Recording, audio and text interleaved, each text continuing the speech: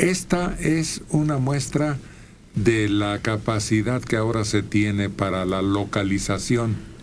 Quizá la utilicen para dar con el Chapo. Un hombre iba en una avioneta y una puerta de acceso se abrió accidentalmente. Se cayó su teléfono y se deslizó y cayó en el camino, volando. Llegó y aterrizó y se dio cuenta de que su teléfono ya no lo traía y se había escabullido por esa rendija y lo encontró. Con el, el CP. El GPS. GPS. Lo localizó. Este empresario de Texas utilizó una aplicación para encontrar su teléfono en un pastizal después de que cayó de unos 2.800 metros durante el vuelo. Su teléfono aún funcionaba de acuerdo con la entrevista que concedió. El piloto y él viajaban a bordo de una avioneta Bonanza cuando un cambio repentino de presión provocó que la puerta del pasajero se abriera ligeramente. No se dio cuenta de que el teléfono había caído hasta que la aeronave aterrizó.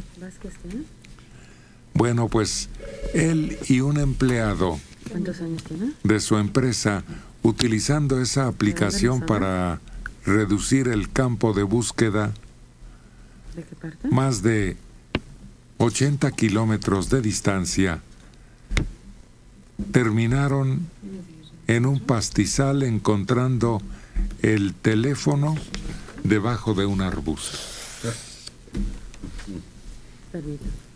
Qué cosa tan impresionante. No, la verdad. Suerte, perdón. Es que la verdadera noticia es que encontró intacto el celular. A veces se te cae a ti de las manos y se destruye. Que se te caiga de un... Mira, Cayó, cayó en blandito. Ayer precisamente a una compañera de nosotros se le cayó su celular de la mano y se le estrelló la pantalla. Sí, eso es lo increíble. Más, más, más que quizá por el sistema de GPS que ya es muy común en todos lados. Incluso hay aplicaciones, por ejemplo, para el iPhone, de, donde tú desde tu computadora puedes saber dónde está tu teléfono, tu tablet o tu iPod, lo, lo que sea. Y si se pierde, pues lo activas y entonces te da una eso, señal. Hay, un- hay una aplicación en el iPhone que puedes ver por dónde viene tu esposa a tu esposo, por dónde anda. O tus hijos ¿A dónde se mete? Eh, Sí. No, y, y ya cerca del lugar simplemente se llama al celular y se escucha. Y ya se localiza exactamente. Es como la lámpara de Aladino. Me mostraron la otra vez en una noche despejada como la aplicación correspondiente y señalas al cielo y te muestra las estrellas, las constelaciones. Los que deben estar. Y te lo explica y no necesitas Sí. Telescopio. más que orientarla. ¿Qué pasa en la Ella solita sabe a dónde está mirando. Pero eso sí tiene pila. Eso sí se cayó y no se rompió. Y sí tiene señal. Claro. Y si no llueve. Y si no lo apagan, si no se moja. Pues la localización de Pablo Escobar se dio precisamente por una línea telefónica que fue captada, ¿no? Sí, uno puede saber quién está hablando y por qué torre. Hay gente muy importante que dirige una compañía telefónica. Dicen los que trabajan ahí que cuando él viaja por México le liberan, por eso no puedes llamar, porque le liberan tres torres para él solito. El teléfono necesita tres torres casi siempre o dos. Parece que el sistema que usó la DEA para la localización del Chapo en su primera captura, bueno, la segunda, iba a Guatemala. No, aquí ya en no, México, en. Mazatlán, Mazatlán, la, la última captura. sí, la última, fue también una localización con sistemas electrónicos. Vía satélite.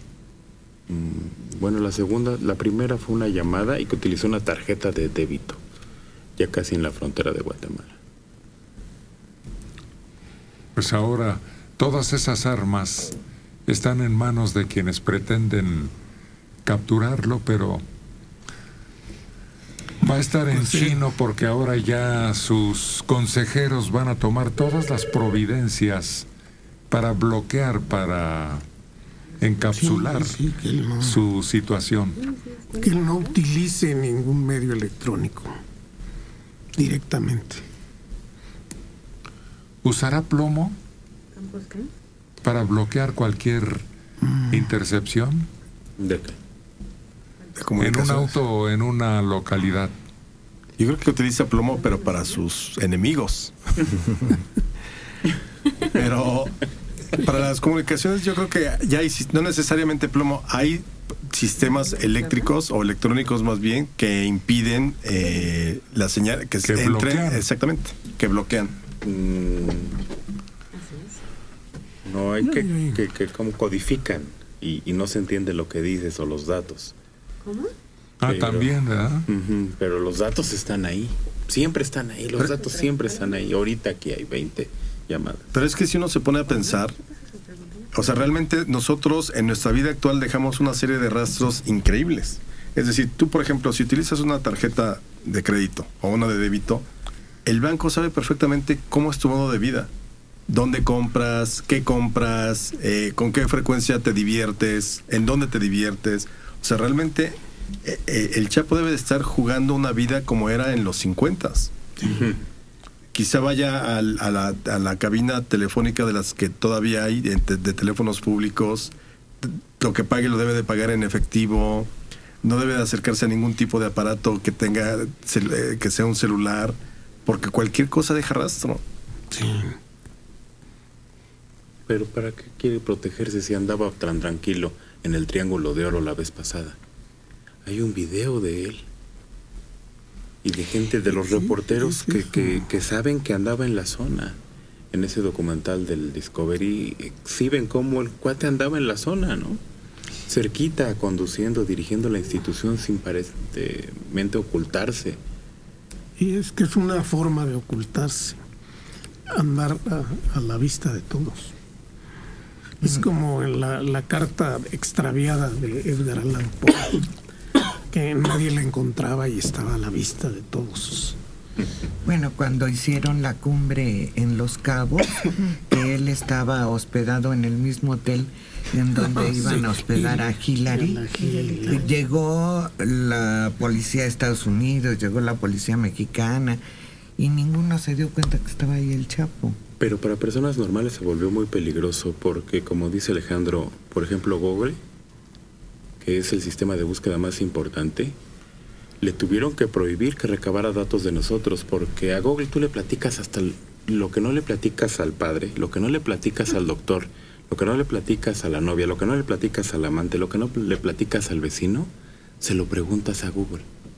Todo, todo se lo pregunta uno ahí, hasta lo más Íntimo. Íntimo, lo más oscuro y lo más bizarro. Y entonces llegó un momento en que nos hizo un estudio y nos mandó una revista diciendo, aquí está todo lo que tú necesitas. Buscas. Para leer, para comprar, para vivir, para divertirte, para escuchar, para ver. Sí. Y fue espantoso. Y entonces el gobierno de Estados Unidos dijo, ¿qué pasa? Y es que Google tiene de verdad una información de nosotros completa. Sabe más de nosotros que nosotros mismos. Sí, es como diría la burrón, preguntas, este, información, ¿cómo se cura la jiricua? Inmediatamente sabe, este tiene jiricua, mándenle pro publicidad. Cuba es el único país tan adelantado en las investigaciones del mal del pinto a te- que te refieres, que es en donde más avanzados están en conocimiento. Creo que la, la burrón se refería a un mal que les da a los limosneros, que se pone negra, negra la piel. Y no es mugre, es, es una irritación.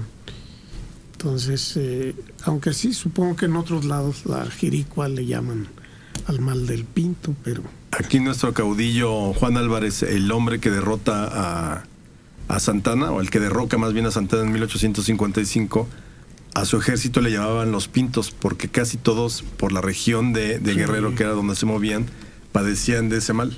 Entonces era el ejército de los pintos. los Galeana era igual. Sí, pero ese mal es diferente al vitiligo, porque ese mal sí es infeccioso, el de guerrero. Es producido por un piquete de un insecto, Sí, ¿no? así es. Sí, un mosquito. Así es. Y el vitiligo generalmente tiene origen nervioso.